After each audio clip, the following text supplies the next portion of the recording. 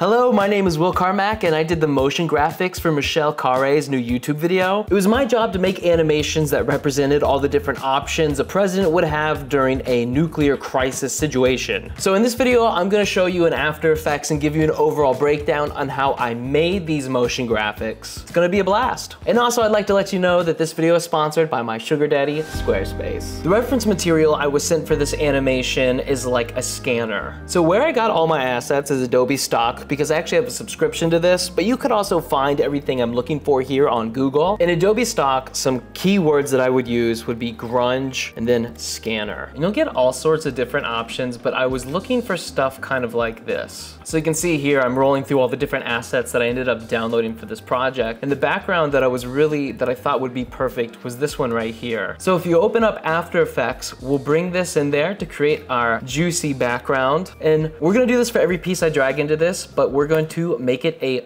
3D layer. So I'll scale it down to be cool. Love that. And then to add some texture to this background, I wanted to get some like scanned PDFs to make it look like there's some papers on top of the scanner. I thought this was pretty clever. I ended up just looking up on Google scanned government papers. And eventually you'll find some random website like this that has a bunch of scanned documents from like a presidential campaign. And in Adobe Acrobat, you can open up a PDF and export every single page as a JPEG. And I would do that and it would leave me with all of these separate individual JPEGs. And what's great about them being black and white, so I can bring one of these into After Effects like this, you can change the blending mode to multiply and then everything that's white disappears. It's only showing the darkest parts of this. So now in After Effects, I can flip this like 180 degrees, put it like, put it like right here to give this background some texture. I'll drop in another scanned PDF and blending mode, set it to multiply. And then I played around with it until I found like a nice vibe for like a scannery background. And then in the effects and presets, there's an effect called camera lens blur that I would throw on to both of these so they don't distract from what I'm eventually gonna put in the foreground. You could even lower the opacity a little bit if you want them to be more subtle. And a little touch that I gave the background in the animations I made for uh, Michelle is I went to layer, new, and solid. And what I'm gonna do is create a flickering vignette because you can see in the animations, the background has a little bit of detail with this flickering black border. Just adds to that like grungy presidential old school look. So what we're gonna do with this is we'll grab our ellipse tool and I'll start in the center. If you hold down control, it'll just grow bigger from the center. So I'll do this, drop down the masking menu and hit subtract and feather it up. I'll lower the opacity a lot. So now you can see this is how much the vignette is like affecting the background. So if I hold Alt and click on opacity, so I'll type in wiggle 5 comma 5. So it's gonna flicker five times with the opacity difference of five. It's subtle, but you can tell now the edges have this cool flickery background look. So now that we have a juicy looking background, we wanna build our main asset, which is the folder. I went back to Adobe Stock and I just typed in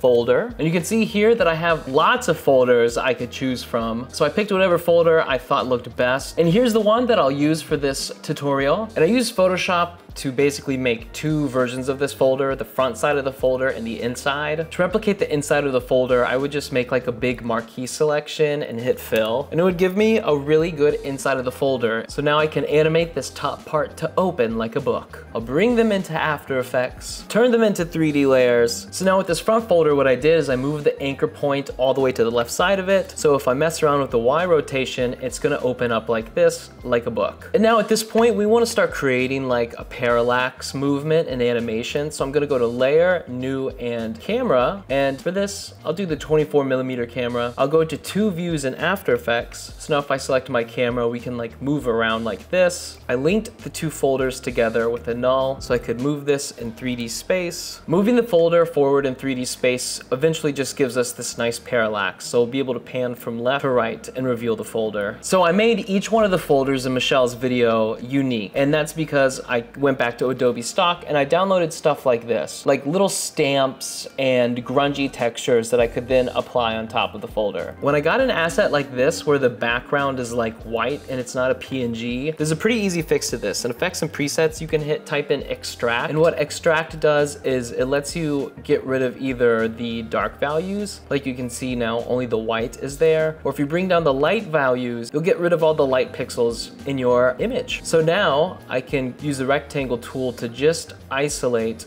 this here and it's got no background and it's basically a PNG. So one thing I did to make these look cool is if you come down here in the layers panel to track matte, you can link this to the front of the folder and make sure that you turn your folder back to being visible. So now this will only appear in the bounds of your asset. And this was a great asset that I found. It's a scan of a presidential seal. So I went ahead and put that over the folder and like our PDF scans with the white background, we can just set it to multiply and it will get rid of the background. And like the previous asset, if we use the track matte to link it to the folder, it will now only show up where the folder is. In the effects and presets, you can hit the fill effect and then you can just change the color of whatever you want it to be. And I kind of wanted everything to be a little bit more faded. So I would bring in like a faded red with the fill effect. So right here, I used Photoshop to cut out an image of a paperclip and I put the paperclip somewhere over here to justify having some paper on the inside of this folder. And then to make the labels on the folders, I brought in another asset that I uh, got from Adobe Stock. So I would use masks to get rid of all the information that I didn't want. So now I'm left with this. We're gonna go back to the effect extract and bring down the whites so everything left in this image is just the black border. I'll make the name the same as the video. I'll do option one. And the font that worked really well for this is called Tudor Victors. And I got this on dafont.com for anyone who's curious, so it's free. So on Adobe Stock, you can see here, I downloaded some really like torn up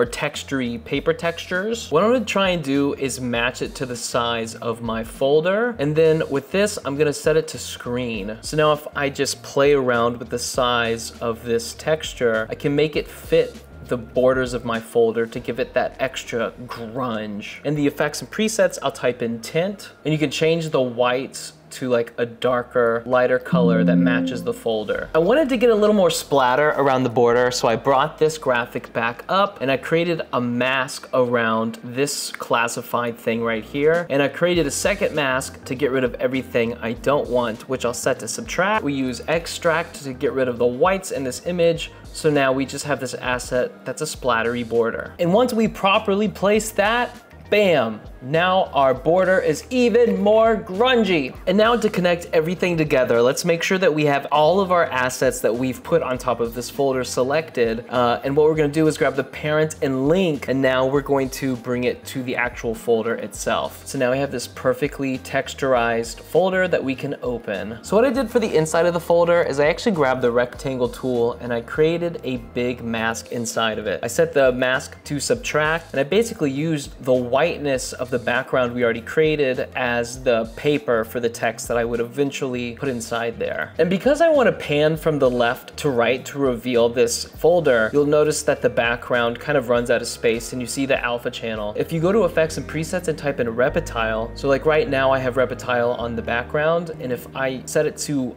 unfold and expand left, it's just gonna fill up all of that space. So now our grungy background is large. So now we can animate the camera to fly from the left to the right, revealing the folder. So if you hit Shift Control Alt Y, you'll create a new null object, which I'm gonna make 3D, and then I'm gonna link the camera to this null. So now I can move my camera around with this null object. Create a keyframe here while the folder is in the center of the frame, and then I'll go over to the beginning of the composition and I'll grab my null that's controlling the camera and pan it to the left. Of course, we'll grab these keyframes and we'll easy ease them. And for the first keyframe, I'm starting it high on the speed graph, so it starts fast and in slow. So this here is our animation. It looks too clean. What I did for every single animation I made for Michelle is I actually went to composition, composition settings. I changed the frame rate from 23 to 12. So now it's gonna be moving at 12 frames per second and it kind of gives it this old school look, which is way more in tune with like the old documents vibe. So this is 12 and this is 24. Here they are together and you can notice the, the difference there. So once we arrive at the folder, now that everything is linked to this folder, we can create a keyframe for the Y rotation. And as soon as we see the folder, we can animate that to open up and disappear behind the folder, just like this. Of course, we'll easy ease those keyframes So now we arrive on the folder and then it opens. And you can see that these assets somehow bleed into the back of the folder. So this moment right here, right before the page turns to the inside, I'm just gonna create a jump cut for all the things that are attached to that folder and delete them.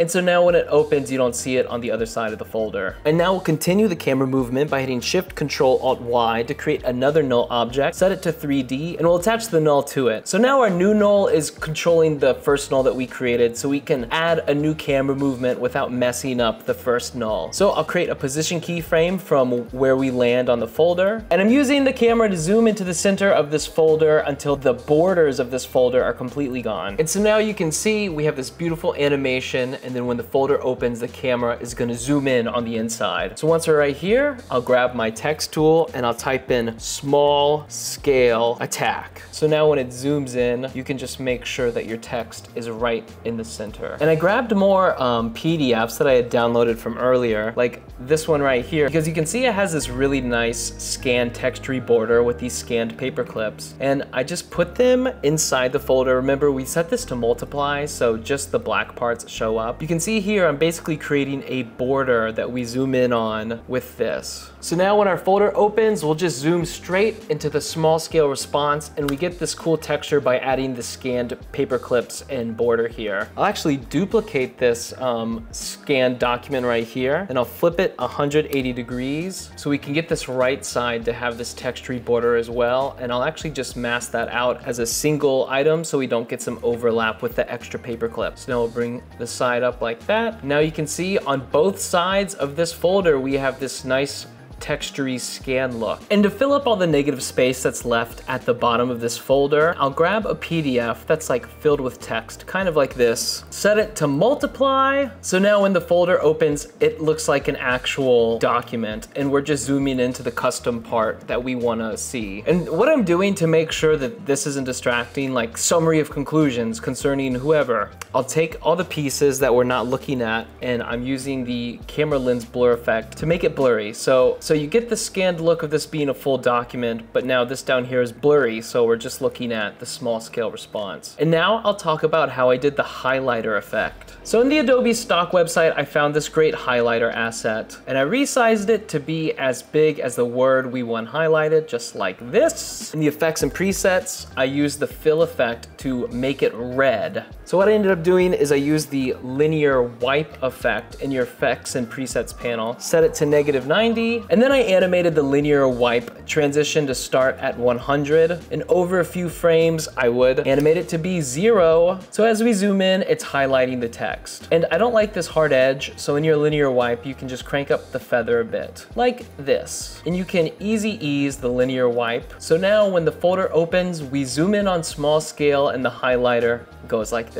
We can duplicate that highlighter asset we just animated and bring it onto our uh, second line here. And once the second highlighter is resized uh, how you like it, we can just move over the linear wipe keyframes. And so it starts and ends on the second word, just like that. Now it looks beautiful. And of course, one of the juiciest details we haven't added yet is selecting everything and selecting motion blur. And now with the motion blur, it looks so nice. And then one of the final touches that I added was I could create an adjustment layer with the camera lens blur effect on it. I'll use the ellipse tool and create a big focus spot and I'll hit, oh, I'll hit subtract and I'll feather this mask up. And what I'll do is I'll animate this from zero. And once we're fully zoomed in on the text, I'll increase the camera lens blur to like seven. Now there's some nice juicy depth to everything. The end of the paperclip is in focus while the top of it is blurry. You just now have this really nice depth animation. And then you throw on a few different dust and scratches video assets to blend everything together and give it an extra grungy look. And that, ladies and gentlemen, is how I made these graphic animations for Michelle Khare's new video. I think I'm gonna do a part two of this tutorial to talk about how I made some of the other animations in her video, so stay tuned for that. But these animations I made for Michelle are some of my best work ever, and it was super cool working with a huge YouTuber. I hope you enjoyed this little After Effects motion graphics breakdown. My name is Will Carmack, and I'd like to introduce you to my sugar daddy, Squarespace! From online stores and marketing tools and analytics, Squarespace is your best option for making a website. If you want incredibly customized and personalized personalized website? Well, you're in luck because with Squarespace's new design system, Squarespace Blueprint, you'll be able to select from professionally curated templates. So you'll be able to pick a design that is good for your vibe or brand. And with their optimized SEO tools, you'll be able to get discovered way faster and way easier. And let's say you're a business person and you've got products you want to sell. And with Squarespace's flexible payments, you'll be able to accept every form of currency, Apple Pay, credit cards, PayPal. You'll even be able to use pay later features. So your online store can sell your goods and you'll be able to make it as convenient as possible for your customers. And lastly, if you don't want to rely on just the professionally designed templates that Squarespace offers, Squarespace's Fluid Engine lets you edit and customize from your launching off point. So you can use one of these templates as your starting point, and then from there, use all of the incredible editing tools that Squarespace offers for you to make every page look exactly how you like. And everybody, the best part is I got you a discount code. So if you go to squarespace.com slash Will willcarmack, you'll be able to get 10% off your first website or domain. Thank you for sponsoring this video, Squarespace. I hope you all check them out. And don't forget, where there's a will, there's a way. My name is Will, and have a nice day.